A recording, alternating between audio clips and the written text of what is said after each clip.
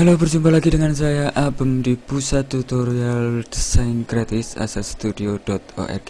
Sekarang setelah kita mencari server dan menemukan server yang kita inginkan, kita bisa masuk dan mencoba mengupload semua data yang ingin kita akses di internet. Oke, pada Explorer saya sudah mempunyai beberapa file dan sudah mempunyai beberapa desain untuk website saya dan saya mau menjelaskan di sini apa yang kita upload.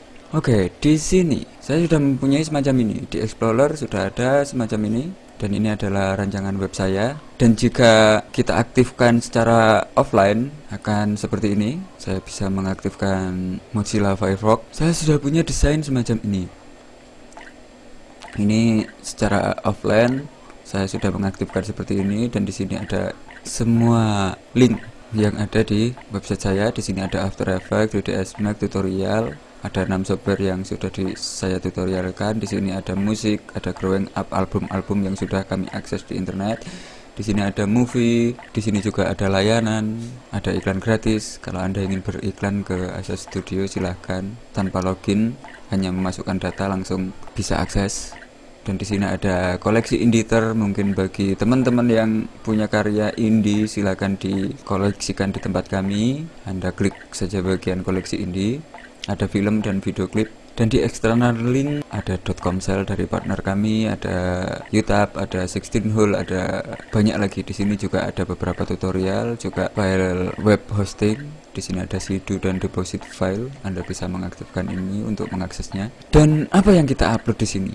kita di Explorer kita sudah mempunyai semacam ini. Saya mempunyai folder yang isinya semacam ini. Ada 3ds Max tutorial di sini, ada index. Jika indeks saya buka with Firefox, di sini akan muncul seperti ini. Oke, seperti itu.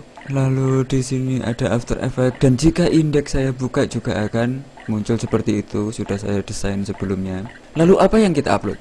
Yang kita upload kita harus mengupload semua dari folder dari file yang berada di project kita yang jelas namanya harus persis sama dengan apa yang ada di Explorer jika Anda merubah satu kata saja maka nanti Anda tidak akan bisa mengakses dari file-file yang sudah Anda upload di sini ada Asa Studio Growing Up Oke, Asa Studio Growing Up. Saya mau memanggil di sini di Asa Studio sini. Saya mau mengetikkan asastudio.org slash growing up slash lagi enter.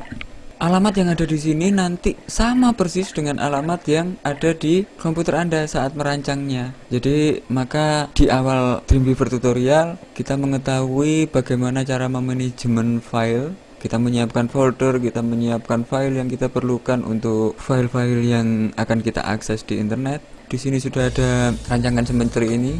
Jadi semua folder yang sudah kita akses di internet kita bisa memanggil dengan cara seperti ini.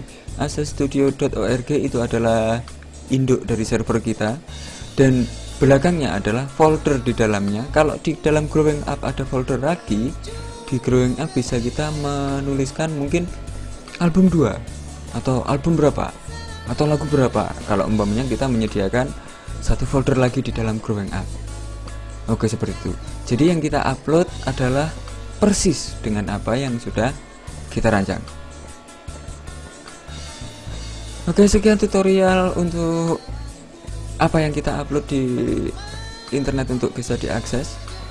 Dan jika ada pertanyaan silahkan anda layangkan kepada kami di asastudio at gmail.com Semoga tutorial ini bisa membantu dan salam